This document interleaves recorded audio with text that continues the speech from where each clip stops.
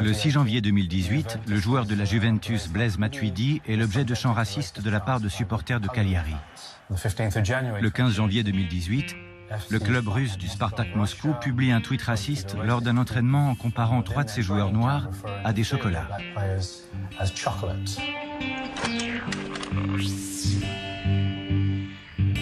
Le 13 janvier 2018, lors du match entre Riron et Tarragone, le groupe de supporters, les Ultra Boys, chante qu'ils ne veulent pas de joueurs noirs.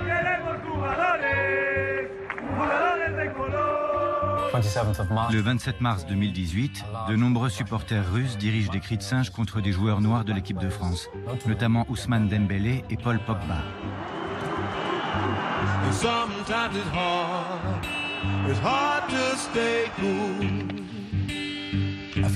Il y a quelques années, on a noté une augmentation. On a vu apparaître des banderoles, des chants, toutes sortes de choses qu'on ne voyait pas il y a cinq ans. Dans chaque pays, nous avons une montée des idées d'extrême droite. On l'a vu lors des élections ou lors de manifestations dans la rue. Et ça s'est traduit aussi dans les stades. On connaît une nouvelle vague d'immigration illustrée par la récente crise des réfugiés. Et dans des pays comme la Grèce, l'Italie, l'Espagne, il y a eu des réactions contre ça, y compris là encore dans les stades.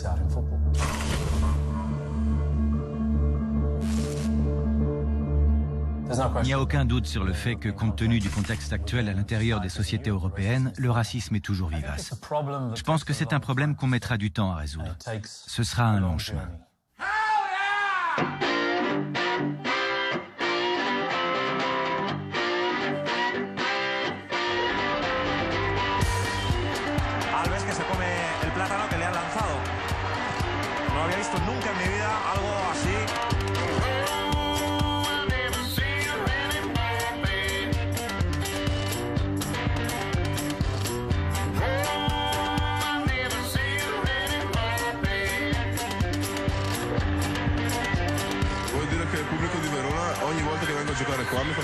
Schifo, veramente, perché sono inaccettabili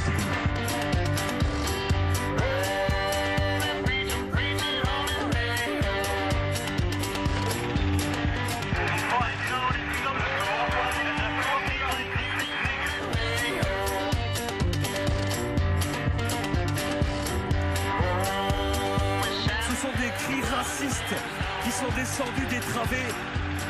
Samuel Eto'o ne veut plus jouer.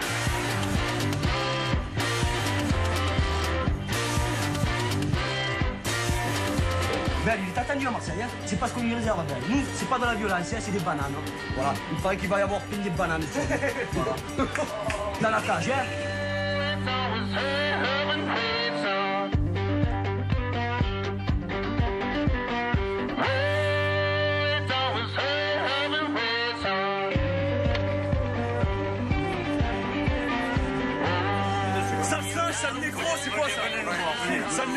Singe, c'est ça, ils ont rien à faire dans les ces gens-là.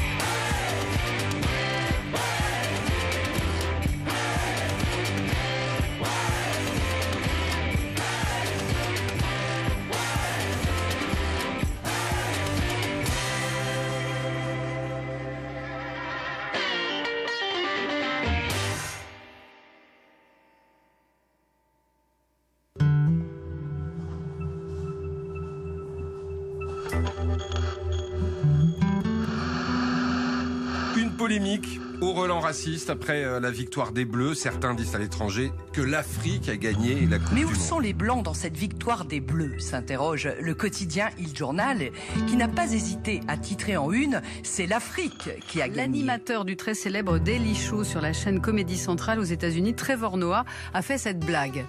Yes, I'm so excited. Africa won the World Cup. Africa won the World Cup. Sur les réseaux sociaux, on se déchaîne tout autant en comparant des joueurs français à des singes avec un ballon ou à des champions du tiers-monde.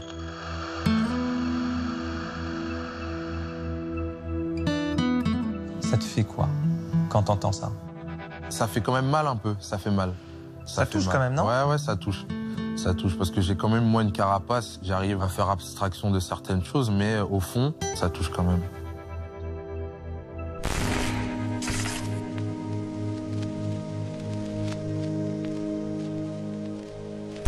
En équipe de France, tu l'as vécu, le racisme? En équipe de France, euh, c'est vrai qu'il y a un match où, où j'ai entendu, c'est vraiment là, cette fois, ouais, c'était vraiment fort. T'as entendu quoi? Non, des cris de singe. Des cris de singe. Euh, quand un coéquipier, on va dire Black, avait le, le ballon, j'ai entendu. C'était Russie-France. Exactement, exactement. Je me suis dit non, ça existe encore. Non, 2018, ça existe encore. C'est vrai que c'est, ouais, ça, ça m'a choqué. Je pensais que ouais, avec les années, ça allait, ça allait évoluer, ça allait s'arrêter. Et ben non. La première fois que tu as entendu ça, t'avais quel âge? Quand j'avais peut-être 19 ans. Donc t'évoluais en France? Ouais, c'est ça, j'évoluais en France, ouais. Hmm. À l'Olympique lyonnais? C'est ça. Donc 19, tu jouais déjà avec les pros? C'est ça. Ouais. Ah, donc en fait, c'est pas, c'est pas simplement qu'à l'étranger, donc on l'a aussi en France. Bien sûr. En France, on l'a. On l'a, je pense que c'est, on l'a de partout. Le racisme, ça semble être un sujet où, les joueurs ont quelques difficultés à parler. Est-ce que toi, tu as hésité avant de me parler? En toute honnêteté, oui, j'ai euh, hésité, parce que c'est un, sujet à la fois important, sensible aussi. Euh, j'aime en parler, mais rentrer dans les détails, dans les détails, hmm, c'est pas quelque chose que, que j'apprécie, parce que d'une part, je suis pas quelqu'un qui tu veux dire, ah ouais, je suis pas une victime. Je suis pas une victime. Moi, non, je suis pas une victime. Parce que je suis blague, j'ai pas ça. Parce que je suis blague, j'ai, non. Moi, ma mère, elle m'a toujours dit, elle m'a dit, si tu veux réussir, même si t'es black, t'es jaune, tout ce que tu veux, c'est, c'est par rapport à ce que tu auras fait. Et même si tu dois faire plus, tu dois faire plus. Et tu le feras. Tout petit, déjà, ma mère, elle me disait ça. L'ignorance, faut faire avec. Faut pas t'arrêter à ça. Elle savait que, que ça allait pas s'arrêter, que le racisme allait toujours être présent même euh, à, quand j'allais grandir. Et c'est le cas. En plus, j'étais quelqu'un d'assez impulsif euh, et, euh, et elle me disait non, si un jour, euh, voilà, il y a du racisme, non, faut, faut rester calme, ignorer et tu fais ce que tu as à faire et c'est le plus important.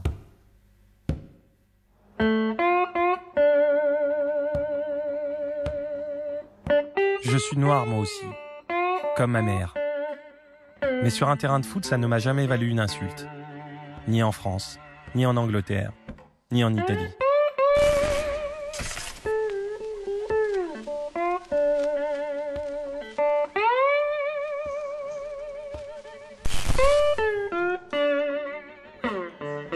Je ne sais pas ce que ça fait de subir un cri de singe. Et qui sont ces gens qui ciblent un joueur pour la couleur de sa peau? Combien de temps auront-ils encore une place dans un stade? Peut-on se débarrasser d'un phénomène qui traverse les époques? C'est surtout ça la question.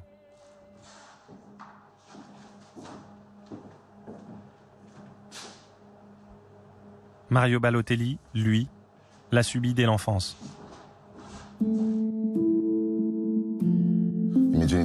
Mes parents sont arrivés en Italie quand ma mère était enceinte de moi. C'était des immigrés venus s'installer dans le sud de l'Italie, en Sicile, dans le port le plus proche de l'Afrique. Je suis resté à Brescia avec mes parents biologiques jusqu'à mes 3 ans, 3 ans et demi. À cause de toute une série de problèmes, j'ai été confié à une famille d'accueil, les Balotelli.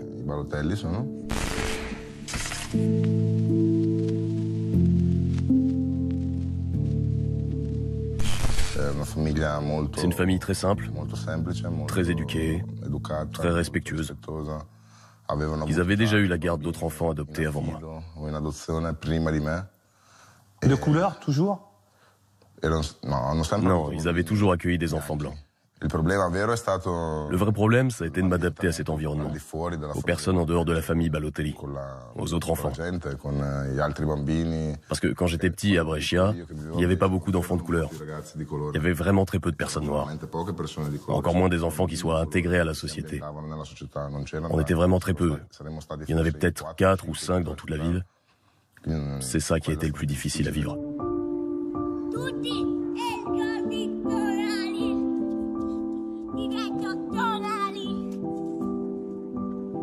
Ça se traduisait comment? C'était le regard, c'était les paroles? Je ne pourrais jamais dire qu'un enfant est raciste, parce que les enfants ne sont pas racistes. Mais ce qui a toujours dérangé, c'est ma différence.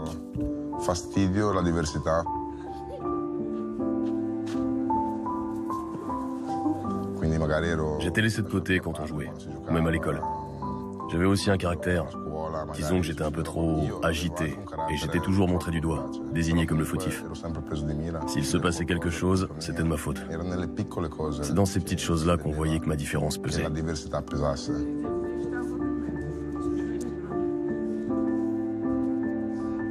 Quand j'étais adolescent, j'ai commencé à recevoir mes premières insultes. C'est-à-dire? Il m'arrivait de me disputer avec quelqu'un sur le terrain du quartier et je commençais à entendre mes premiers Ah le nègre, t'es différent, retourne dans ton pays, ce genre de choses. Tu avais 13 ans et tu commençais déjà à entendre ça Ouais, 13, 14 ans. Ouais, les premières insultes. Le pire épisode, c'était à 17 ans. Avant ça, j'avais reçu des sales remarques, mais vraiment le pire m'est arrivé à ce moment-là. Quand je suis passé professionnel à l'Inter et qu'on a joué contre la Juventus, tout le stade s'est mis à faire ouh, ouh, ouh. Sincèrement, c'est le pire moment de ma vie.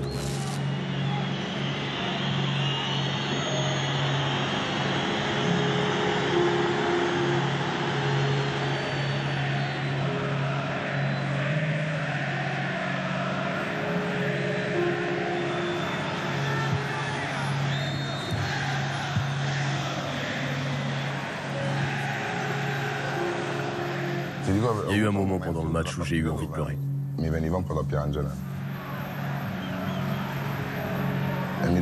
Je me souviens de l'avoir dit à Zlatan sur le terrain et il m'a dit Laisse tomber, joue, tu vas marquer. C'est normal. Qu'est-ce que tu veux qu'il me dise? Il n'allait pas me dire de sortir du terrain, j'étais jeune. Et au final, c'était une bonne réponse, parce que ce but, je l'ai marqué.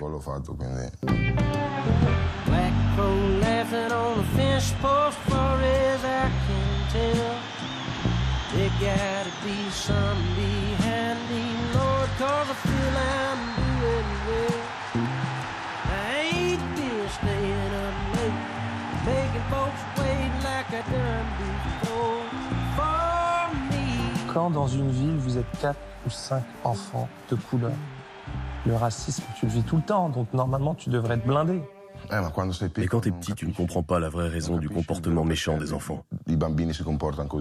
Tu le sais pas. Tu veux pas comprendre. Comment tu fais pour dire à un enfant de 5 ans ce qu'est le racisme? Et si tu le fais, tu lui gâches son enfance, selon moi. Je me souviens qu'à l'école, un enfant m'avait demandé en rigolant si j'avais le cœur blanc ou noir. Eh,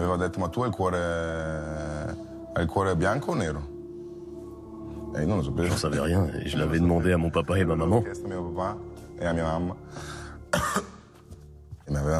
Il m'avait expliqué que j'étais noir parce que mes parents naturels étaient africains et qu'il n'y avait rien d'étrange à être différent.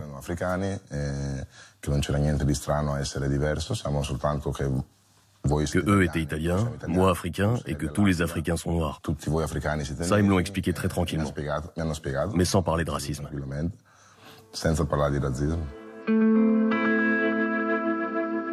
Mon père Franco venait à tous mes matchs. Les gens ne me connaissaient pas quand on allait jouer contre d'autres équipes. Certains parents de joueurs contre qui je jouais, avant de lancer des insultes, regardaient dans les tribunes pour voir s'il y avait des parents noirs dans la tribune. Les gens ne se doutaient pas que j'étais adopté. Ils pensaient que mes parents n'étaient pas là, du coup ils m'insultaient. Qu'est-ce qu'il fait là, ce noir Qui dégage et mon père et ma mère étaient à côté, ils disaient Pardon, c'est notre fils.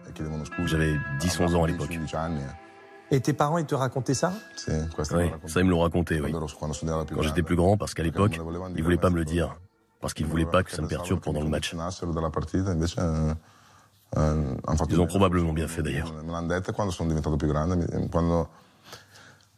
Je crois que c'est quand j'ai subi mes premières insultes racistes en première division que ma mère m'a dit Si tu savais combien de fois on s'est disputé dans les tribunes quand tu étais petit avec les parents qui ne savaient pas que nous étions tes parents. Tellement de fois.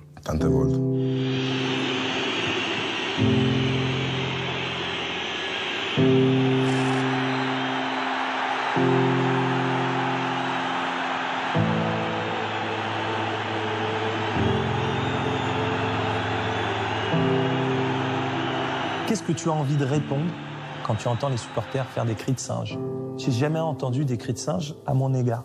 Ou peut-être que j'ai pas fait attention, mais je l'ai pas ressenti. Non? Non. Mai. Forcé non ho fatto caso. C'est bizarre. T'as joué à Rome, t'as forcément pris les remarques racistes, c'est sûr. Si, forcément. Ou alors c'est parce que t'étais plus concentré que moi sur le terrain, tu t'en étais pas rendu compte. Moi je suis un peu plus attentif à ce qui se passe autour de moi. Toi je me souviens, t'étais super concentré.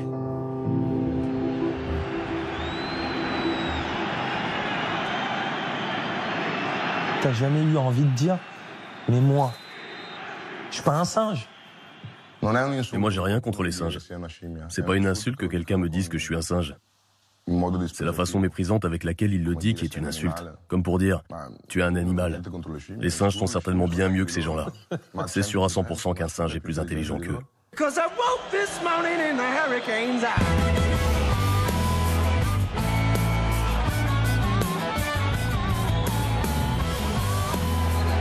L'arbitre che il gioco per i cori Beceri Koulibaly.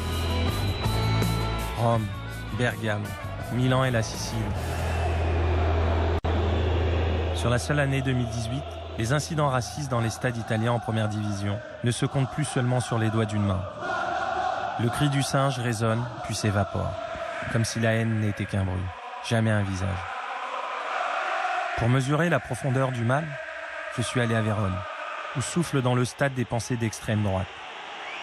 Ce n'est pas Mario Balotelli qui dira le contraire.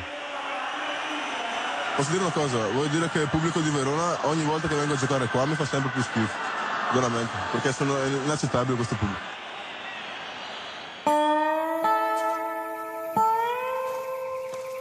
J'ai rencontré chez lui un supporter de Vérone. J'en menais pas large. Je suis noir. J'aimerais savoir déjà si ça te dérange pas. Non.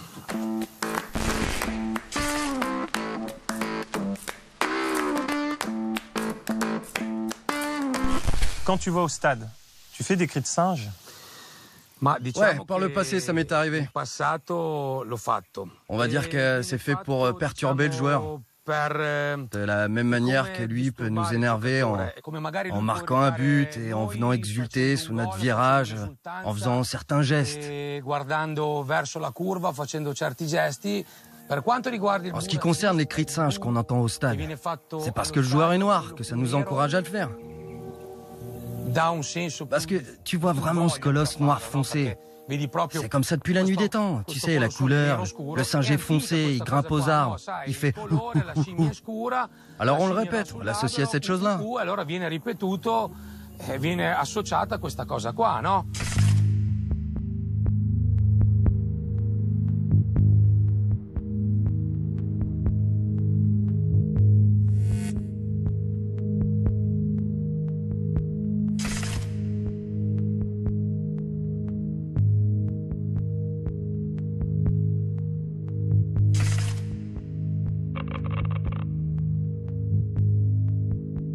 Le racisme, c'est un terme un peu complexe. Quels supporters peuvent se définir comme racistes en Italie? Lesquels? C'est vrai, il y a peut-être un peu plus d'idéal dans la tribune de Vérone. Je pense que c'est l'une, peut-être même l'unique tribune comme ça. La seule qui existe avec cette idéologie. Mais je parle pas de tout le stade. Hein. L'idéologie, justement, c'est quoi? L'idéologie du, du principal virage, c'est... C'est celle-là. Ça veut dire quoi? C'est l'amicale des nazis? C'est quoi? C'est des jeunes qui trimballent dans la rue une certaine manière de penser, qui font partie de certains groupes politiques comme Forza Nuova ou Casa Pound. Et ce credo d'extrême droite, ils le portent dans le stade. Après, t'as beaucoup de personnes qui s'agrègent à ce mouvement juste parce qu'ils savent même pas pourquoi ils le font. Juste pour suivre le mouvement. Moi, j'ai pas suivi comme un mouton. J'ai étudié. Je me suis renseigné sur l'histoire avant de me définir fasciste. Et j'en suis fier. Bien sûr, j'en suis fier.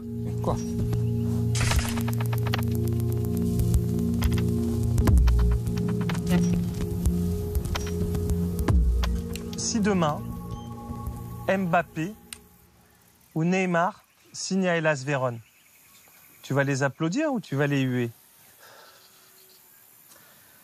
Je pourrais même être content. Je parle de moi personnellement. Mais il y a toujours une partie des supporters qui préfèrent avoir arrivé, je sais pas moi, Ibrahimovic ou un autre joueur blanc. Mais, mais la France qui gagne la Coupe du Monde avec beaucoup de joueurs de couleur, c'est possible en Italie? Moi, j'espère pas. L'Italie s'identifie comme un pays, disons, blanc. Donc c'est mieux si l'équipe nationale est constituée de joueurs blancs. La France a colonisé des pays de couleur, donc elle se retrouve avec des joueurs de couleur dans son équipe nationale. C'est d'ailleurs de là que vient la blague. Regarde, la France a gagné la Coupe du Monde.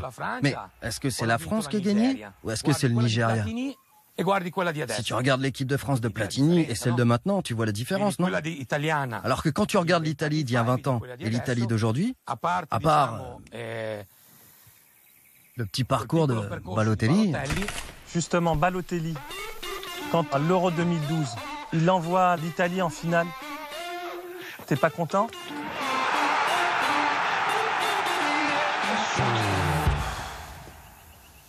Ça m'a fait plaisir pour l'Italie, mais disons que personnellement, ça m'a pas enthousiasmé. Fondamentalement, c'est une personne de couleur en Italie. Et l'Italie est blanche. Tu comprends? Mais lui est né en Italie. Lui est nato in Italie. Oui, je sais qu'il est né en Italie, mais c'est pas un Italien de pure souche. Il peut être né en Italie, mais il n'est pas né de parents italiens. C'est un Italien d'adoption.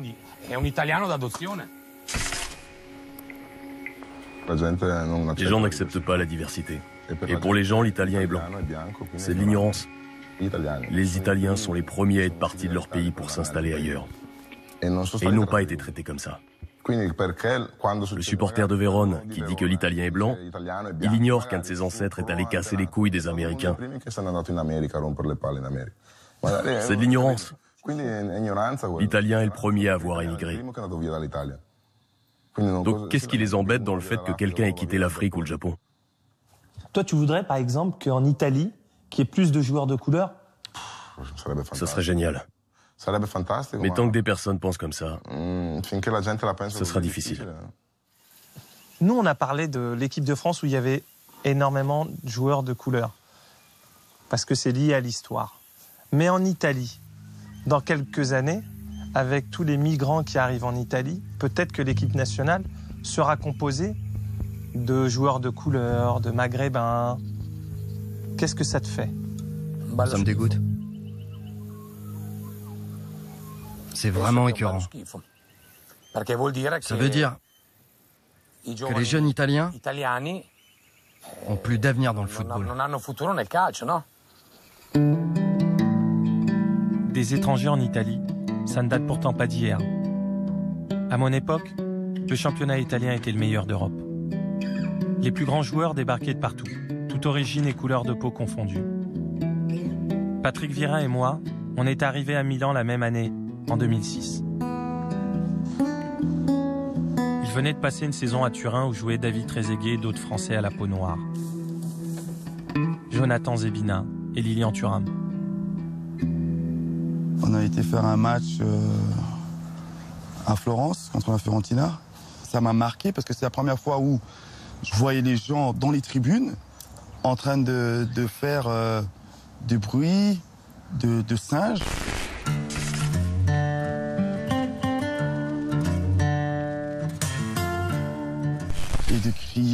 Euh, euh Negro di merda. et ça, ça m'avait vraiment choqué parce que c'était vraiment la première fois où je voyais les gens, le faire et, euh, c'était vraiment euh, directement à moi. Et c'est là que c'est là que je me suis rendu compte que l'Italie avait un gros problème.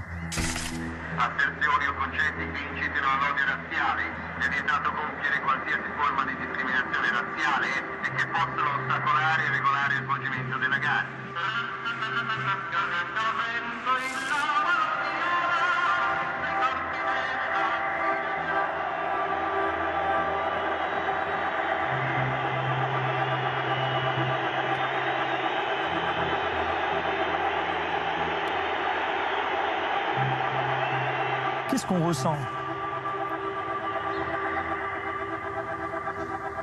J'ai même pas envie de dire la haine, parce que c'est vraiment pas la haine. Euh, de la déception, de la tristesse, et ça fait mal. Tu te dis pas à un moment que c'est pour peut-être te déstabiliser? Non, ça arrive peut-être un peu plus tard, avec un peu de recul. On se dit oui, c'est peut-être pour déstabiliser l'équipe, ou... mais, euh, mais sur le coup, j'ai du mal à comprendre, et sur le coup, j'avais du mal à me dire, mais qu'est-ce je le regardais, je me dis, mais les mecs, ils ont craqué, ils sont complètement barjots. Mais, euh, mais c'est de la bêtise, c'est de la bêtise humaine, quoi. Quand tu vois qu'il y a quand même des campagnes antiracistes qui sont faites par l'UEFA et par la FIFA, pourquoi tu rigoles? Je rigole parce que parce que je ne sais pas si ça sert à quelque chose. Après, c'est peut-être euh, genre, euh, on va faire quelque chose, mais vraiment sans rien faire, quoi. C'est, je pense pas que ça sert à grand chose. J'ai entraîné la deuxième équipe de Manchester City. On a été faire un, stage, on a fait le match amical en Croatie. Il y a un de mes joueurs qui se fait insulter de sale noir, de sale singe, de retourne dans ton pays. Ça m'a choqué. Alors c'était un match amical, je vais voir euh, l'entraîneur, je vais voir l'arbitre, je lui dis écoutez, le joueur il s'est fait insulter, il euh, faut qu'on fasse quelque chose, sortez le joueur. Euh, non, non, non, on le sort pas, on continue à jouer, on en reparlera après. Non, non, non, non, non. On ne reparle pas maintenant, le joueur vous le sortez, ou nous on prend nos affaires, on s'en va. L'entraîneur voulait pas sortir le joueur, l'arbitre voulait pas sortir le joueur. J'ai dit à mes joueurs, on y va, on sort. Et c'est pour ça que je pense qu'on a tous des responsabilités à jouer, c'est-à-dire euh, euh, les présidents, les mecs de la FIFA, l'UEFA,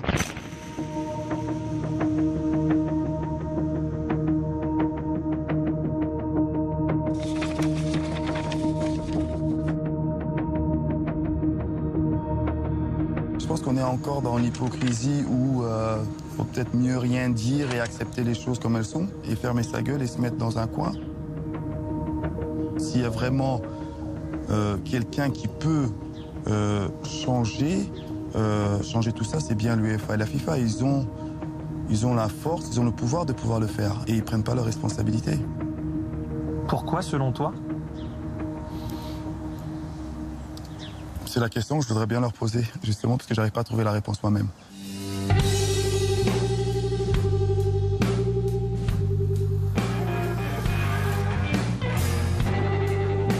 Quelques milliers d'euros d'amende pour les clubs ou les fédérations. Des tribunes fermées un match ou deux. Pourquoi les sanctions sont-elles si faibles quand le racisme hurle? J'ai demandé un entretien à Gianni Infantino le patron du football mondial. Tutto bene? Bene, te? Ça va Perfetto. Ah. ah voilà Quelle politique mène la FIFA pour lutter contre le racisme?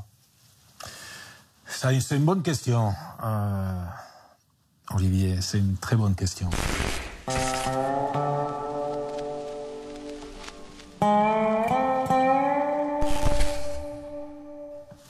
Je pense que c'est important, peut-être parfois, effectivement, de, clarifier un certain nombre de points parce que la FIFA euh, fait beaucoup. On travaille euh, avec euh, des organisations contre le racisme, Football Against Racism in Europe, par exemple. On travaille avec beaucoup de légendes comme toi pour pouvoir nous aider à véhiculer ces messages et à éduquer un petit peu. Est-ce que c'est assez? Non. Parce qu'il y a toujours des accidents. Les campagnes euh, contre le racisme, euh, non racisme, euh, sur les pelouses, on se pose la question de savoir est-ce qu'elles sont vraiment efficaces, ces campagnes? Oui. On se dit que non.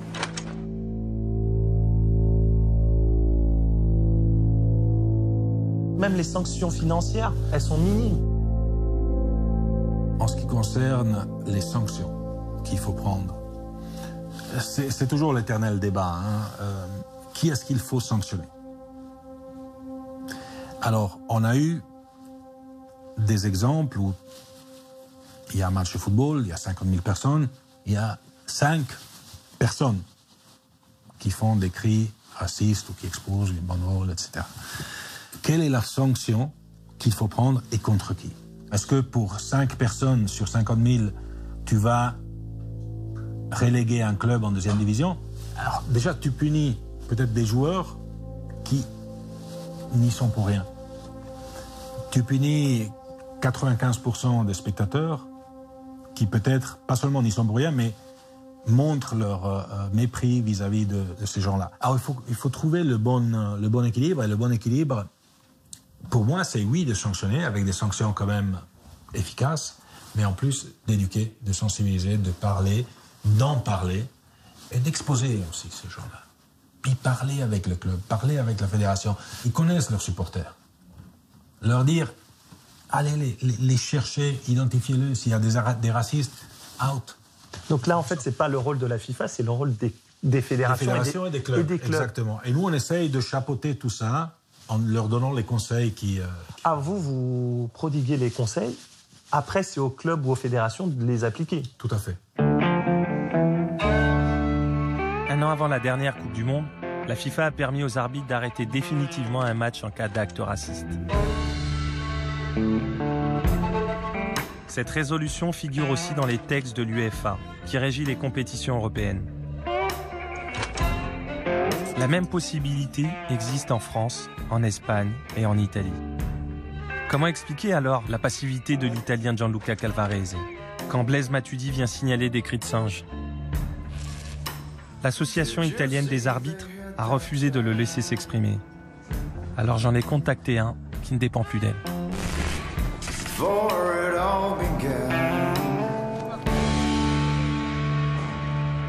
L'année dernière, Calvarese, lors du match Juve Cagliari, Cagliari Matuidi va le voir et lui dit qu'il entend des, des chants racistes, il entend des insultes racistes.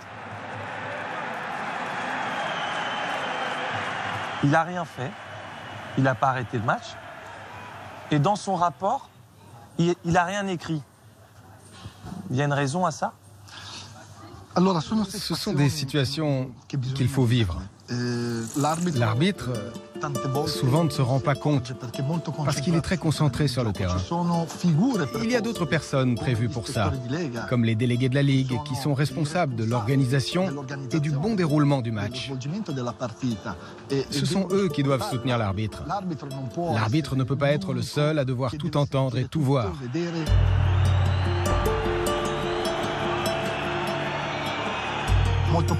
Il est fort probable que l'arbitre a entendu ces insultes, au moins en partie. Lui, ce qu'il a retenu, c'est que ce n'était qu'un petit groupe de supporters de Cagliari qui insultait le joueur de la Juventus. Dans le règlement qu'on doit appliquer au stade, l'article 11, qui est celui qui prévoit les sanctions contre les joueurs ou les supporters dans ces situations-là, cet article donne la possibilité aux supporters de se dissocier du groupe auteur d'insultes racistes. Si le reste du stade applaudit le joueur, cela annule de fait l'insulte raciste.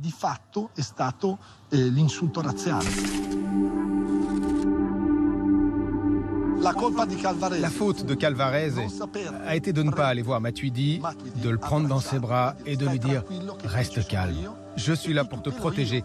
Mais pas parce que tu es un footballeur noir, mais parce que tu es un footballeur et que tu es discriminé. Là, l'arbitre a manqué d'expérience. Il aurait dû le rassurer avec un geste protecteur et lui dire ⁇ Tout va bien, je m'en occupe ⁇ je crois que dans ces moments-là, il est préférable d'arrêter le match, parce que c'est aussi une façon d'envoyer un message aux jeunes générations, qui, contrairement à notre génération, sont plus habituées à vivre avec des gens issus de l'immigration. Moi, je me souviens que quand j'étais enfant, je n'avais jamais vu une personne de couleur jusqu'à mes 8 ans. Un jour, une petite fille noire est entrée dans ma classe et est venue s'asseoir à côté de moi. Presque personne ne la voulait à ses côtés. Et moi, j'avais une place de libre à ma table. La maîtresse m'a regardé, comme pour me dire S'il te plaît, fais-la s'asseoir à côté de toi. J'étais petit, mais je m'en souviens. Ça a été un moment important pour me faire comprendre l'importance de l'intégration che cos'era l'integrazione? Blaise Matuidi aurait-il été différemment entendu par un autre arbitre ou dans un autre pays?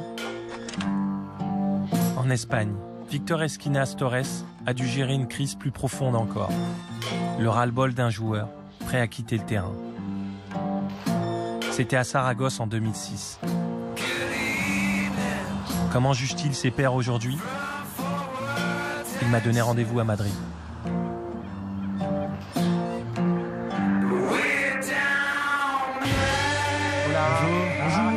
Comment allez-vous Très bien, très bien. En Italie, il y a un arbitre italien, c'était le match euh, Juve Cagliari. Matuidi a été voir l'arbitre, lui a dit Regardez, on est en train de m'insulter, on est en train de. Entendez, écoutez. Et l'arbitre, il n'a rien fait. Et dans son rapport, il n'a rien mis. Comment c'est possible Il a mal réagi. C'est un arbitre qui a eu peur.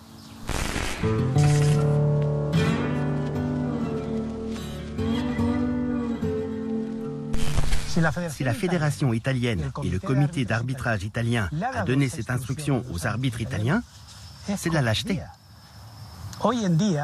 Aujourd'hui, on peut arrêter un match quatre fois pour l'arbitrage vidéo, mais on ne peut pas l'arrêter une fois parce que 20% du public lance un chant raciste.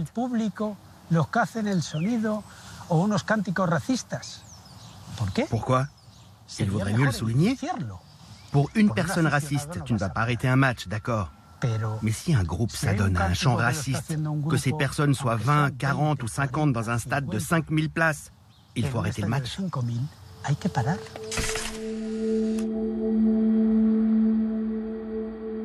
Racontez-moi ce fameux match en 2006 à Saragosse. On jouait la 76e minute. Il y avait 0-0 quand Eto se prépare à jouer un corner. Là, on commence à entendre le bruit du singe, du macaque. Ce sont des cris racistes qui sont descendus des travées des supporters de la Romareda. Monsieur Esquinas Torres l'a entendu. Il est allé voir le délégué. Samuel Eto'o ne veut plus jouer.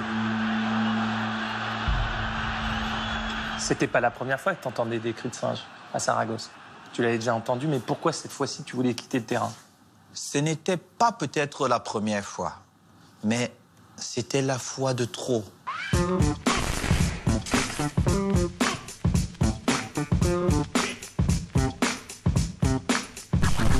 C'était. Cette fois-là, je me suis dit, mais ils ne se rendent pas compte.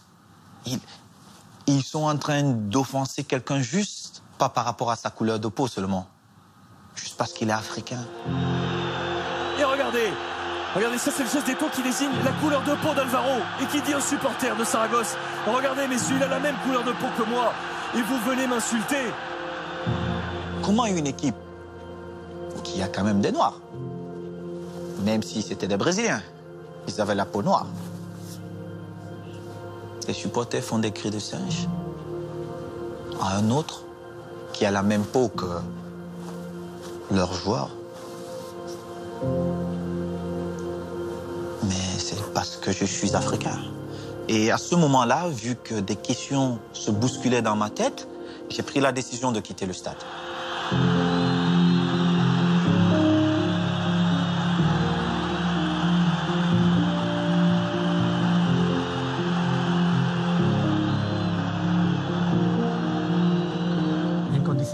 Des circonstances normales, le règlement dit que si un joueur décide de quitter le terrain de son plein gré, je dois l'expulser.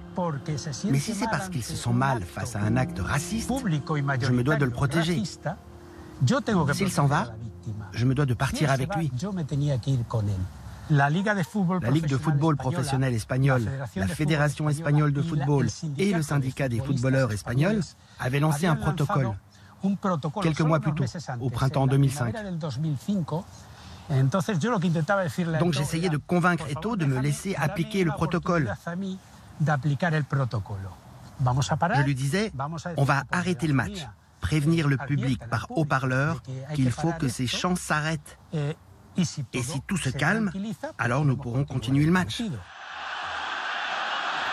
Il aurait dû sortir, il aurait dû être suivi par les joueurs. Mais il faut beaucoup de courage. C'est de la solidarité. Pas du courage, c'est de la solidarité. À partir du moment où le mec il sort et que les autres joueurs ils disent moi je sors avec lui, mais que tu sois noir ou blanc, tu dis non moi je sors parce que je suis contre ce que j'entends et que tous les joueurs sortent, bah, je te garantis qu'on ne sera pas là aujourd'hui. Le grand frère Patrick a peut-être raison. Mais je pense que l'idée de Franck Rashkad était la meilleure à cet instant-là. Franck, il vient vers moi et il me dit Samuel, qui est le meilleur joueur de mon équipe? J'ai dit moi.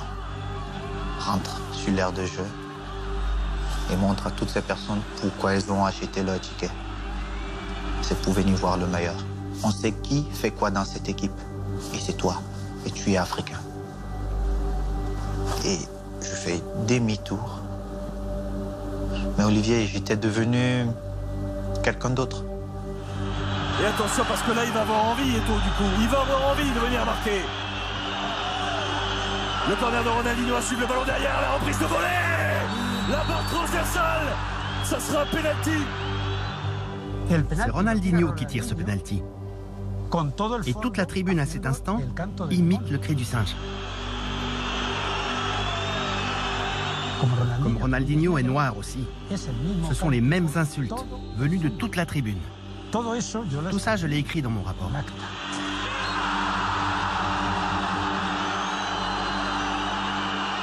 Quand tu vois les cris de singe, tout ce qui se passe dans les stades, ben, il n'y a aucune sanction. La mesure forte pour toi, ça serait que tous les, euh, les noirs, Les joueurs de couleur, les joueurs de couleur, disent on ne joue pas. tu penses que ça serait efficace Quoi? Beaucoup de gens vont perdre l'argent. Et quand tu touches déjà la poche de quelqu'un, je vais te dire, il va trouver des solutions. En premier, les télés. Et tu verras que ces patrons-là mettront la pression à ces instances qui dirigent le football mondial et beaucoup de choses vont changer.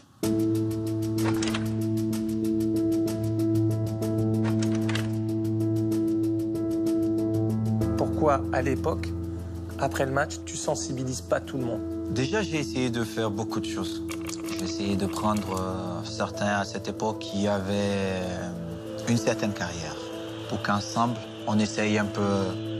Commencer à fédérer.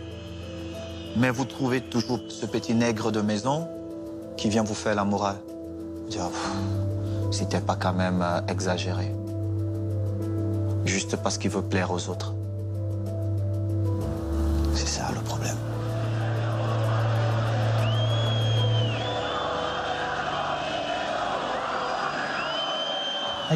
Il faut comprendre qu'en Espagne, comme probablement dans d'autres pays latins, on est tous, tous les Espagnols, avec deux fantasmes à l'intérieur de nous que très peu arrivent à dominer. Le premier, c'est le machisme. L'insulte numéro un qu'un Espagnol apprend quand il naît, c'est fils de pute. Fils de pute, c'est une insulte machiste. Ensuite, quand on veut insulter un noir, c'est nègre de merde. Quand on veut insulter un Sud-Américain, c'est sauvage de merde. Et quand on veut insulter un Maghrébin, c'est arabe de merde. Nous naissons tous avec ces fantômes intérieurs du machisme et du racisme. Et il faut lutter contre eux. Tous les jours, nous devons lutter contre ça parce que ces comportements sont évidemment intolérables. Ces démons font-ils de l'Espagne et de l'Italie des pays plus racistes que les autres? En 2018, plus de 250 actes de racisme ont gangréné le football anglais. Il y a 35 ans, l'histoire du premier joueur noir de Chelsea, Paul Canoville, apportait déjà une réponse. L'intolérance n'est l'apanage d'aucune culture. Elle n'est pas plus latine qu'anglo-saxonne. I was 21 years old, one month and one week old, and about to represent my club in the second division of the Football League for the first time against Crystal Palace. And supporters were baying, hooting and mocking me with monkey noises and throwing bananas at me from the stand. I was on for three minutes, and it seemed like the longest torture of my entire life.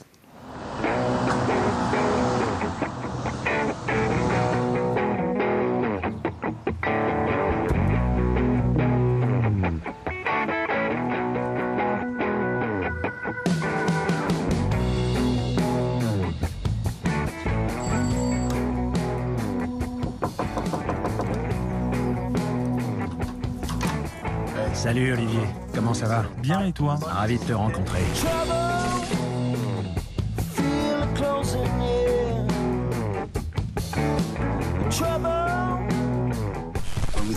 On va marcher un peu. Il fait beau. Alors, comment tu vas? Ça va, ça va, tranquille. Et toi? Pas trop mal. Toi, t'as l'air en forme. Non, je suis gros, tu rigoles ou quoi? Ça nous fait un point commun. Mais je suis plus jeune que toi. Je sais, je sais. Quand est-ce que t'as arrêté de jouer Il y a longtemps, 8 ans. Tu étais le premier joueur noir à jouer pour Chelsea. Tu peux me raconter ton expérience Ça a été très difficile. J'étais un jeune de 20 ans qui voulait juste devenir footballeur professionnel. Pour mes débuts contre Crystal Palace, j'étais remplaçant. Et c'est quand je suis allé m'échauffer que ça m'a frappé de plein fouet. Nègre, singe, rentre chez toi. Je me suis tourné et c'est là que ça m'a le plus choqué. J'ai vu que c'était mes propres supporters. J'étais tellement abasourdi que je voulais plus rentrer sur le terrain.